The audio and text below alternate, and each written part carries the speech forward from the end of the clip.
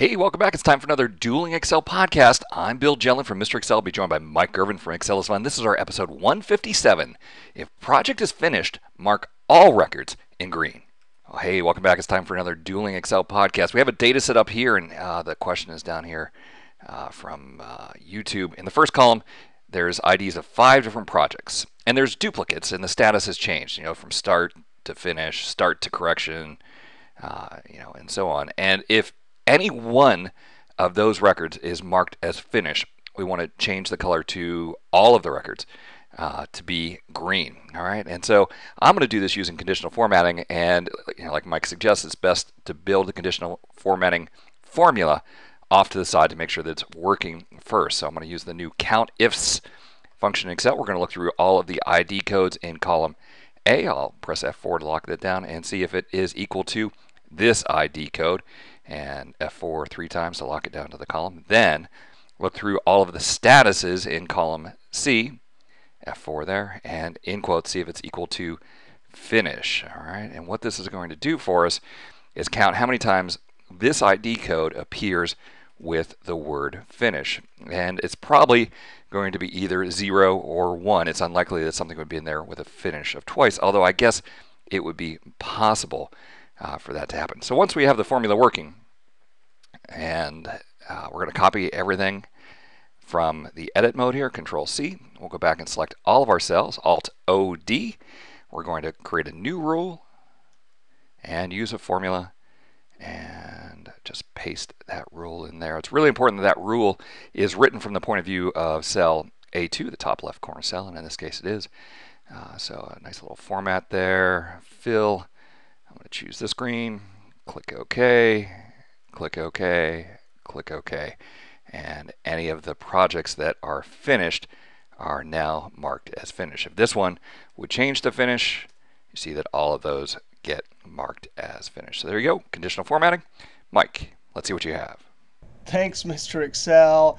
Oh, you get the point. Count ifs. That is a beautiful solution. And what's so cool is it doesn't matter how this data set is sorted, it'll always get the right conditional formatting. Now, I tried this a bunch, a bunch of different things, and I did not think to use count ifs. All right, um, so if this column is sorted, we can use a different formula. But if we unsort it, I'll show you that it doesn't work. Hey, and I'm noticing that this is sorted, right? And the word finished is always going to be the last entry for whatever particular code this is. So I'm going to use the lookup function. Now lookup, this is an H or V lookup. This is just straight lookup that only does approximate match lookup. So I'm going to look that up. I'm going to have to hit the F4 key one, two, three times to lock the column but not the row. Because remember, in the conditional formatting dialog box, we have to copy it over to lock that way, but down, let it move relatively. Now, lookup. I'm going to use the vector and the result vector. The lookup vector, bloop, if I highlight this right here and hit F4, that means lookup will find this particular item, the position of the last one. Because it's sorted, we're doing approximate match. It'll always find the position of the last one. That's what that lookup vector does. It's kind of like match, right? But result vector, F4, that's the range that has the value you want to go and get. So right now, the lookup vector will find position 1, 2, because that ID is the last one. The result vector will give me the finished. Let's go ahead and enter this. Control Enter copy it down and over. And look at that. It's given me finished everywhere. Now I've highlighted this. I'm going to hit the F2 key for the active cell. And I'm going to edit this formula and say, hey, whenever you're equal to finish. Remember, this formula will only work if it's sorted. Control Enter to populate all the, all the way through.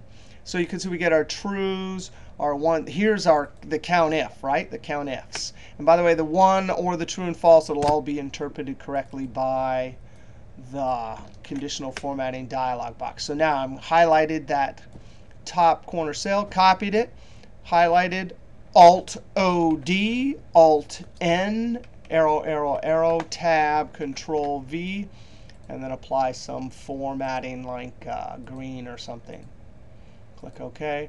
And if the other ones need to be orange, I'll just highlight Everything and the ones that are not conditionally formatted will have the orange. The only problem with this formula and the benefit of this formula is if this is sorted on date, well, this is working fine, but not this formula, Control Z. All right, throw it back to Mr. Excel.